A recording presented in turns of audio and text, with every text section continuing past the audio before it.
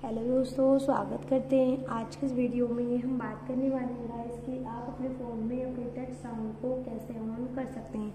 तो इस वीडियो में सिंपल सिंपल स्टेप है आपको फॉलो करके आप अपने फ़ोन में अपने टच साउंड को ऑन कर सकते हैं। तो गई वीडियो की जानकारी के लिए लास्ट ज़रूर देखना। आइए वीडियो शुरू करते हैं। वीडियो शुरू करने के लिए गाइस सबसे पहले हमें अपने फ़ोन की सेटिंग को ऑन करना होगा। ऑन करने के बाद यहाँ पर आपको इस तरीके का इंटरफेस देखने को मिल जाता है। तो यहाँ पर आपको ऑप्शन देखने को मिल जाता है। साउंड तो हमें साउंड पे क्लिक करना होगा।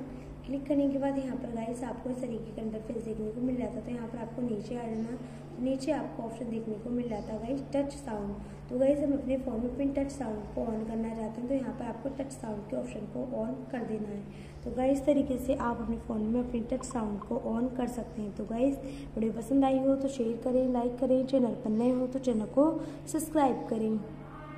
मिलते हैं अगले नेक्स्ट वीडियो में, तब तक के लिए bye bye and take care